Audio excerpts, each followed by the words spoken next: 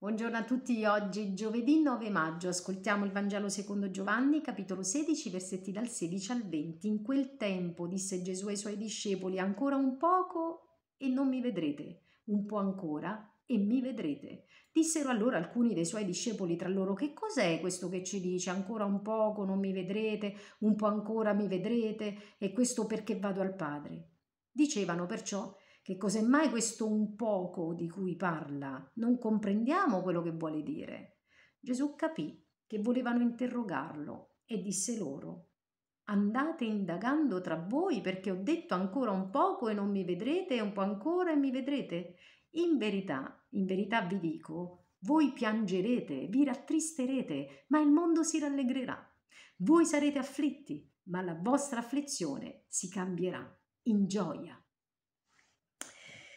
L'espressione con cui si apre questo brano del Vangelo di oggi ci fa riflettere sul valore del tempo. Gesù indica con un poco il tempo che lui ha vissuto su questa terra, come se fosse un attimo, come se il tempo fosse messo in relazione al senso della vista della sua persona, Riflettendo allora su questa situazione che Gesù ci presenta oggi, intuiamo che il Vangelo desidera prepararci a un passaggio di senso eh, che riguarda il senso della vista, che come sappiamo il senso della vista è un, un senso molto frequente nella, nella scrittura e che indica proprio la capacità di aprirsi allo spirito. E allora ci, ci vuole preparare il Vangelo a questo passaggio della, dalla vista alla visione.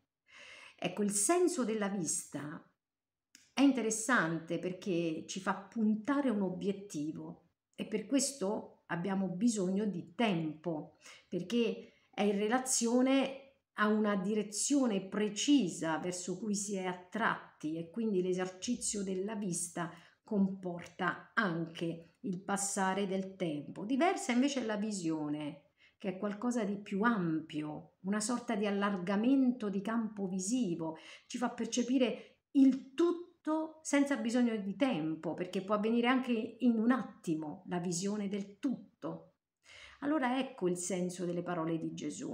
Eh, per vivere di fede abbiamo bisogno non solo della vista spirituale, ma anche della visione. Ed è grazie a queste due implicazioni visive dello spirito sulla realtà che possiamo accogliere in noi una diversa percezione anche del tempo che passa. Pensiamo a San Paolo, hm, che eh, lungo la via di Damasco perde la vista e proprio parten- perdendo questa sua vista su questa via potuto avere accesso alla visione del risorto.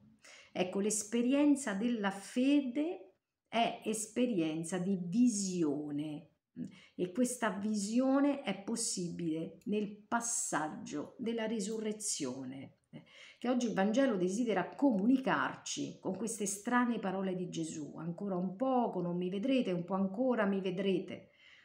E, i discepoli non capiscono perché non hanno ancora accolto la luce della Pasqua.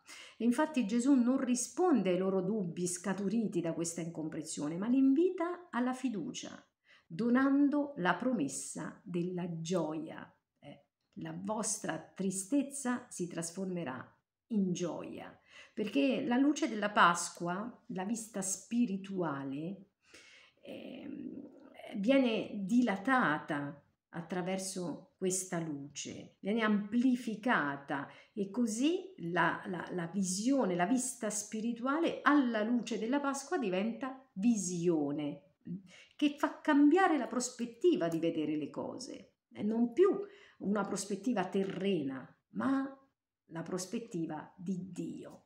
Allora oggi anche noi possiamo alzare lo sguardo perché è necessario ancora un po' eh, e tutto cambierà prospettiva. Il Signore ce l'ha promesso, eh, ci colmerà il cuore di felicità. Eh, la potenza della risurrezione, la luce della gloria che invade le nostre esistenze e continua a stravolgere le nostre vite, ci rallegrerà nel profondo. È questa la nostra speranza. Riceviamo allora questa promessa di felicità ancora oggi per la forza della proclamazione di questo Vangelo, del Vangelo che ci salva. Buona giornata.